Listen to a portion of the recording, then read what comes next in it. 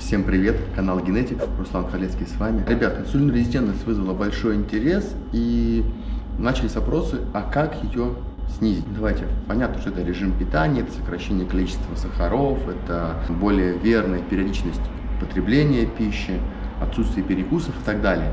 Но именно, так понимаю, что вопрос заключается в том, чтобы такого съесть, чтобы похудеть. Как обычно, какие же могут быть продукты вообще полезные, эффективные, что стоит добавить в рацион, чтобы даже сейчас, ничего не меняя, начать двигаться в сторону улучшения положения, связанного с количеством инсулина в крови. Сложно сказать номер один, не номер один, но просто начну по такому порядку, который у меня в голове выстроился.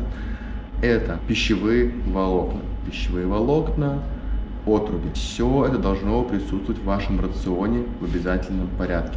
Наличие пищевых волокон, оно в значительной степени повлияет а, положительно на снижение уровня инсулина, на снижение скачков инсулина. В наше время, ввиду того, что продукция питания, они являются очень очищенными, рафинированными, а, сокращается как раз таки количество оболочек у зерна, а, мы кушаем меньше овощей, да, которые делают еду сочной, да, мы используем какие-то соусы, наоборот, э, из э, жиров с углеводами вредных. Вот, поэтому пищевые волокна прям это очень важно, их наличие, большое количество овощей, либо я, например, отруби добавляю даже отдельно в сывороточный протеин. Когда я пью протеин, добавляю туда отруби или цитин в порцию сыворотки. Но к этому чуть дальше. Что можно еще сделать, чтобы снизить ответ, ответную выработку инсулина к приему пищи? Стакан воды с уксусом, выпитый перед приемом пищи. Можно с яблочным уксусом будет вкуснее, то есть можно просто чайную ложку выпить. Как комфортнее, как приятнее, но это также повлечет за собой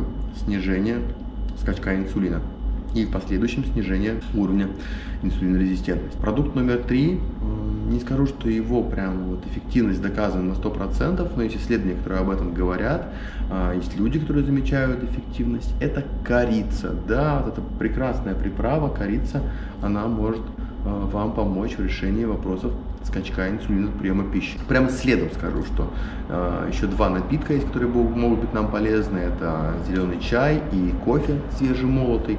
И, кстати, вот корица отлично подойдет к кофе. Все это вместе можно выпить. А тут комплексные воздействия. Это большое количество антиоксидантов, минералов, жирных кислот полезных, да, которые с кофе мы получим. Ко всему прочему, кофеин еще, естественно, повлияет в значительной степени на снижение уровня аппетита, поэтому мы просто меньше съедим, да, от этого получим меньше всплеск инсулина. Поэтому сочетание кофе с корицей, возможно, там в первой половинке дня будет даже интересно. Чем важно, что одна-две чашки кофе могут положительно сказываться, а избыток кофе может уйти, пойти уже в негативную сторону.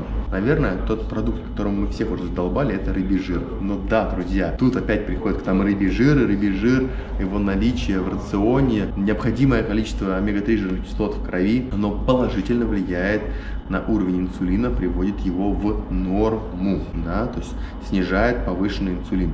Поэтому потребление либо рыбного жира в форме добавки в капсулах, либо потребление большого количества жирной рыбы, это отлично. Вообще жирная рыба хороший продукт. Мы плавно перетекаем в следующий пункт, это потребление белков вместе с жирами.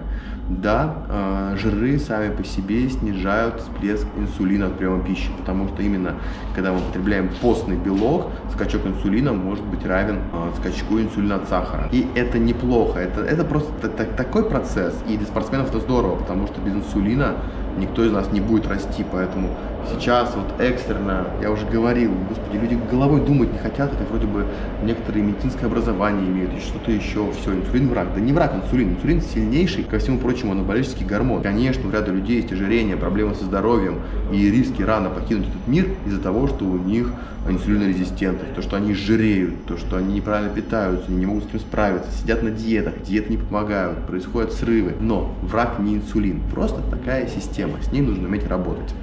А, поэтому а, как раз если проблемы с инсулином есть и не требуется его скачок, то это потребление белка вместе с жирами. Мы не пьем пост, не пьем, не, не пьем, не едим постный белок, а, он скажется негативно, да, почему там вам рекомендуют, к примеру, не есть просто куриную грудку гриль, да, съесть куриную грудку вместе с салатом, да, круто, если будет салатик заправлен, это листовой салат зеленый, огурцы, айсберг, рукола, что-то еще, немного полили лимонным соком, а, чуть-чуть яблочного уксуса, немного оливкового масла, потрясающие жиры, белки, салат, пищевые волокна, потрясающий прием пищи. Вот, друзья, небольшой список а, продуктов, специй, приправ и методов, которыми стоит руководствоваться во время питания. А, думаю, постепенно я перейду к тому режиму питания, который соблюдаю сейчас сам, хотя это может звучать немножечко странно. Симпатичной студии. Тут у нас столько техники. Сейчас мы будем снимать, снимать, сниматься будем в шоу для японского телевидения, где мне нужно будет здесь много пищи, очень много. Вот это все, это все пакеты, там везде всякая еда и что-то еще привезут, всего очень много. Вот, это я вам рассказываю сейчас, да, про правильное питание. Ладно, друзья, я желаю отличного дня. Почти уверен, что вы, когда смотрите ролики мои, вы либо кушаете, либо делаете кардио. Поэтому либо хорошие тренировки, либо приятного аппетита. Все, всем пока, ставьте лайки.